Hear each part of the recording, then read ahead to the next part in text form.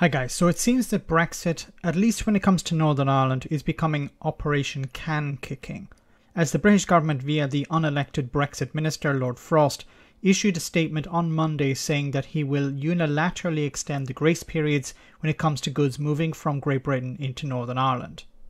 I had predicted this, and true to form, the Brexiteers are not really interested in dealing with Northern Ireland, so they will engage in can kicking, extend the grace periods, and let Northern Ireland evolve in a sense. Northern Ireland over the last number of months has been thriving due to the protocol. There has been limited shortages in supermarkets due to the unique position Northern Ireland finds itself. It has frictionless access to both the GB market for exports and also zero barriers to trade with the European Union. While some British based chains have been suffering minor problems in Northern Ireland, it is nothing compared to the damage Brexit is inflicting upon Great Britain. Lord Frost's statement follows talks with both the European Commission and the Irish government. It gets me thinking some progress has been made behind the scenes. Why? Because of the EU's response to the extension of the grace periods. Shortly after Lord Frost released to the media, the EU followed up with this. We take note of the UK ministerial statement regarding the operation of the protocol on the current basis including the continuation of existing grace periods. We continue to stress that the withdrawal agreement is an international agreement. The protocol is an integral part of the withdrawal agreement and the agreed solution between the UK and EU to the problems caused by Brexit for the island of Ireland. Both sides are legally bound to fulfill their obligations under the agreement. So, nothing new here, typical language the EU has used since the end of the transition period. Our focus remains on identifying long term, flexible, and practical solutions to address issues related to the practical implementation of the protocol that citizens and businesses in Northern Ireland are experiencing. However, we will not agree to a renegotiation of the protocol. The Commission continues to engage constructively with the UK in the interest of all communities in Northern Ireland. This is again reinforcing the point that the protocol will not be renegotiated. I think at this stage the threat of renegotiating was something that the likes of Brandon Lewis, the Northern Ireland Secretary, and Lord Frost, the Brexit Minister, used as a tool to give the impression to the public that they were fighting tough. It is in reality a paper tiger.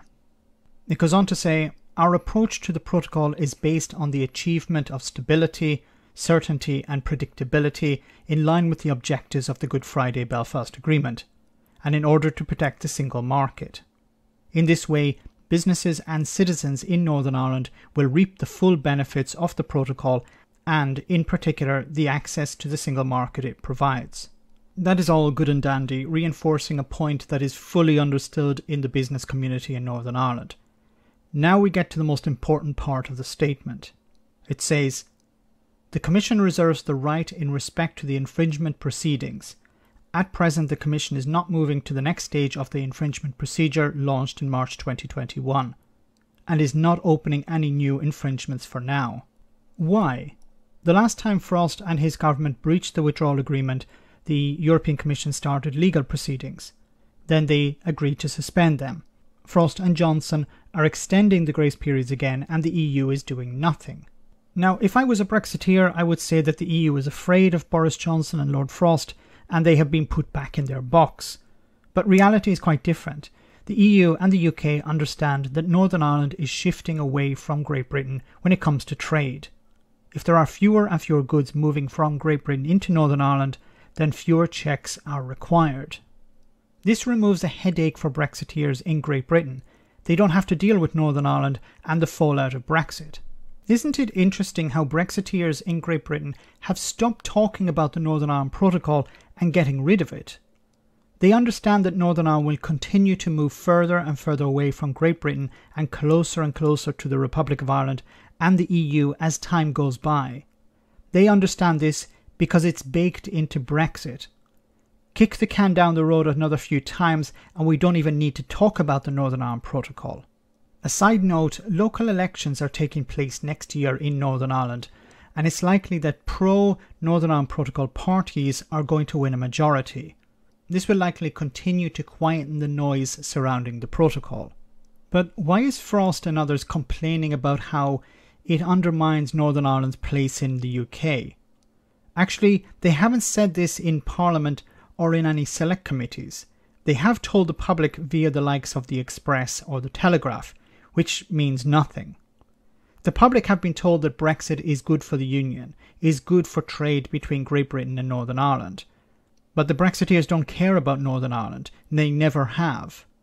Ireland knows this, the EU knows this, and the Tory party knows this. The extreme unionists and loyalists in Northern Ireland have yet to get the memo. So expect to see more can kicking in another few months' time, unless something dramatic happens.